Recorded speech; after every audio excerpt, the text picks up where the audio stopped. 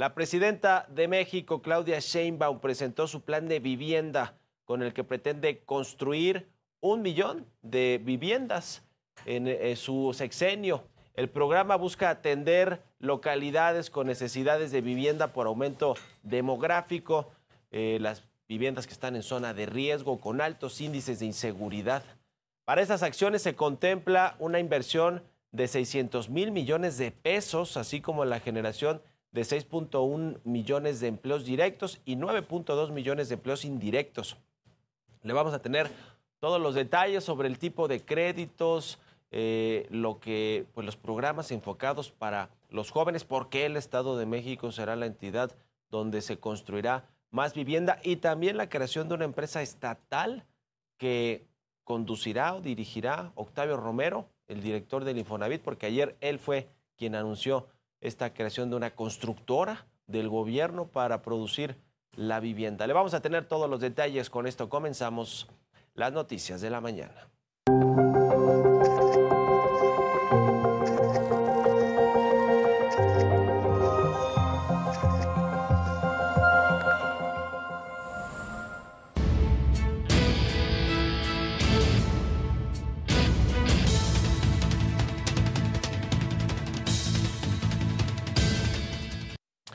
Ya les decía, la presidenta Claudia Sheinbaum presentó este lunes el programa de vivienda, cuyo objetivo es construir un millón de casas nuevas y regular el mismo número de escrituras con el fin de reducir el rezago habitacional.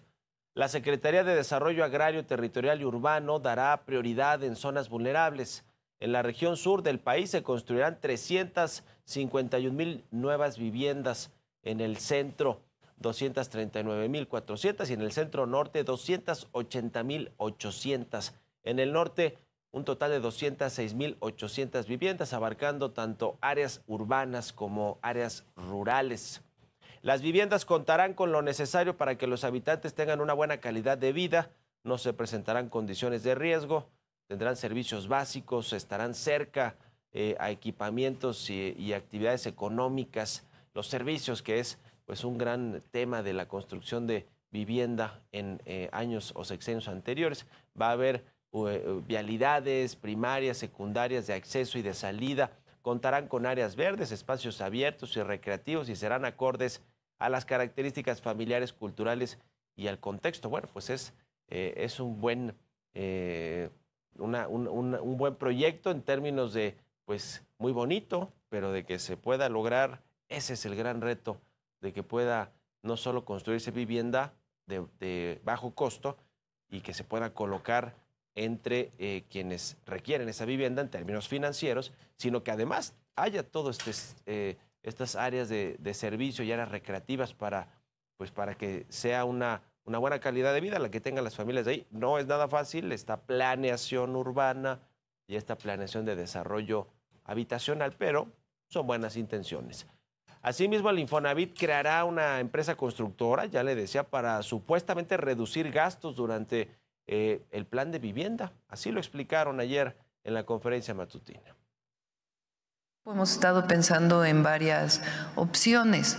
Una es la construcción total, es decir, la, formar la empresa constructora vinculada al Infonavit y que construya toda la vivienda.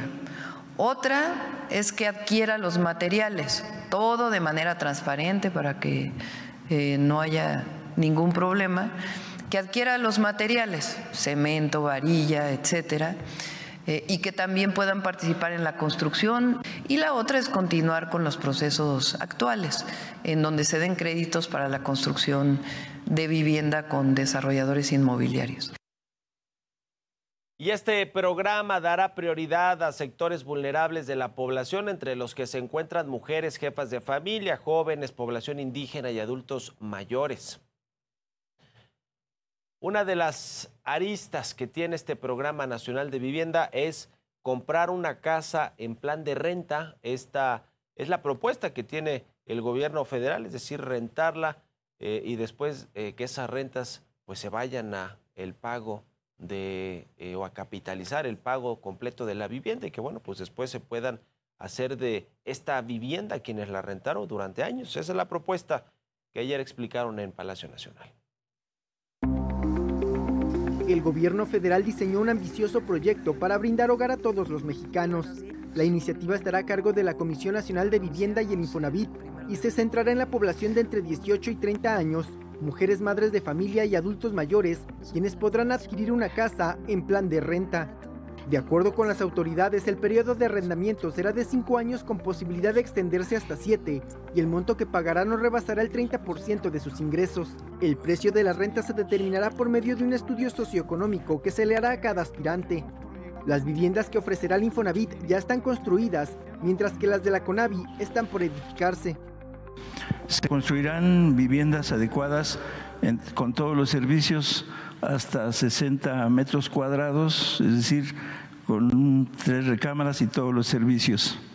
Habrá financiamientos subsidiados de una tasa de interés del 0%, es decir, no tendrá intereses y se realizará un estudio socioeconómico que determine la capacidad de pago del beneficiario. El objetivo es contar con casas de bajo costo cuyo precio oscilen entre los 700 mil hasta 1.200.000 pesos para que las familias tengan acceso a una de ellas.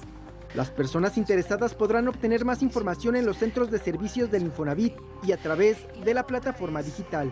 Jorge Montiel, Heraldo Media Group.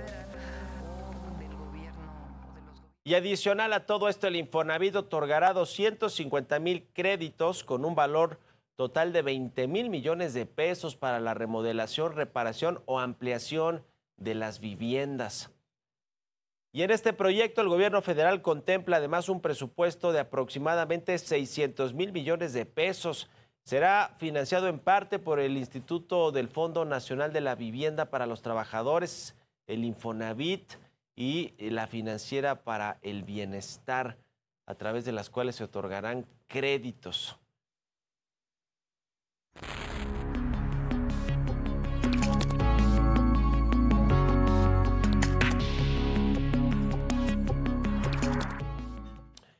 Este plan de vivienda tan ambicioso del gobierno federal es uno de los ejes económicos del eh, sexenio del gobierno de Claudia Sheinbaum. Es decir, que con este plan se busca, por un lado, eh, dar empleo a las zonas eh, donde pues se construyeron, por ejemplo, proyectos de infraestructura ambiciosos como el Tren Maya, como la refinería de Dos Bocas, o que se está construyendo este corredor interoceánico en el, en el Istmo de Tehuantepec.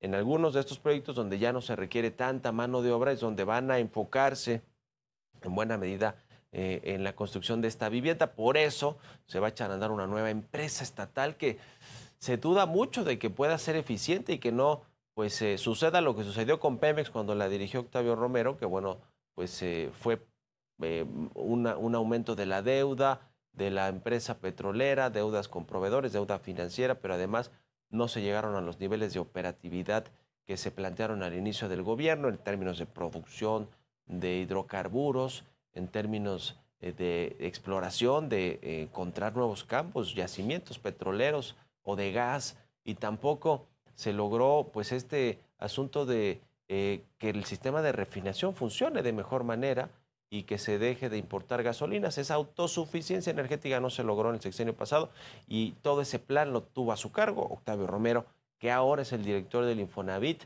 y que pues anunció la creación de esta empresa estatal, que normalmente suelen ser muy ineficientes las empresas estatales, suele haber mucha corrupción, suelen no funcionar eh, de forma eficiente eh, en términos de eh, los proyectos que echan a andar, en términos de cómo utilizan los recursos, que bueno, pues son del gobierno, son de todos los mexicanos, saldrán de los impuestos que pagamos los mexicanos. Y bueno, vamos a ver cómo, cómo queda este asunto, porque tiene que cambiar la constitución para poder darle paso a una empresa constructora de vivienda. El plan, en términos generales, luce bien porque efectivamente hay mucho déficit de vivienda en la República Mexicana.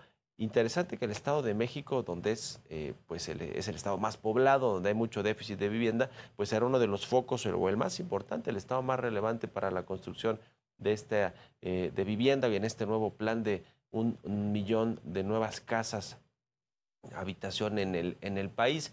Eh, los créditos a los jóvenes también es algo novedoso y relevante porque normalmente pues un joven que se inserta al mercado laboral normalmente no tiene la, facilidad de obtener un financiamiento, un crédito para adquirir una vivienda. Eso suena bien. El asunto es cómo van a coordinarse tanto las entidades financieras del gobierno como las privadas, los bancos comerciales, con las desarrolladoras privadas también, las que construyen la vivienda, el Infonavit, la Comisión de Vivienda, eh, y la nueva empresa que salga a partir de esta reforma constitucional que se quiere hacer también para darle paso a una nueva empresa constructora de viviendas.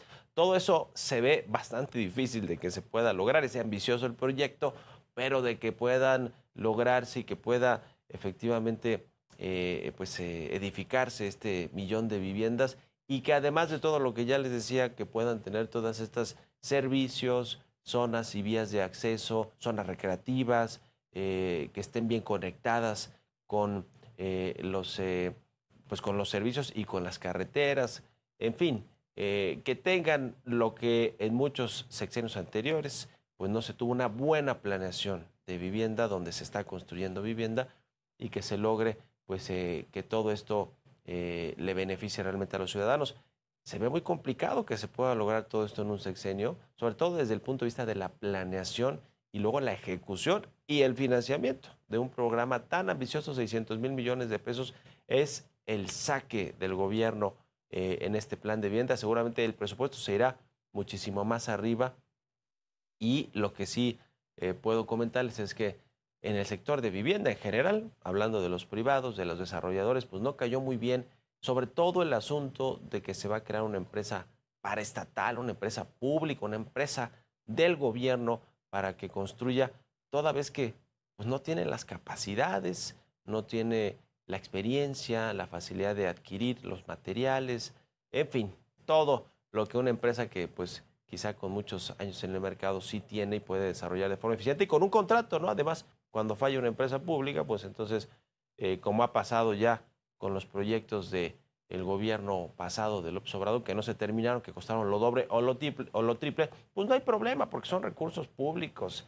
Ya vendrán más impuestos, ya vendrán más eh, pago de, de, concesiones, ya vendrán más ingresos petroleros. Eso es lo que anticipa el gobierno. O la deuda, como les pasó en este último año, casi dos billones, es decir, millones de millones de deuda del gobierno para financiar proyectos de infraestructura que costaron dos o tres veces más caro de lo que originalmente se proyectó. Pero como es dinero del presupuesto, pues entonces de ahí se puede sacar sin ningún problema. Eh, en fin, muy ambicioso el plan, muy difícil de ejecutarlo, de implementarlo. Vamos a ver en qué acaba este plan de vivienda y sobre todo con el eje de Octavio Romero, como el líder pues de este tema de una nueva empresa del Infonavit y de construir un millón de viviendas. Me parece que con el registro que trae con petróleos mexicanos no se puede augurar un gran, eh, eh, una gran implementación de un, de un plan de vivienda de este calado.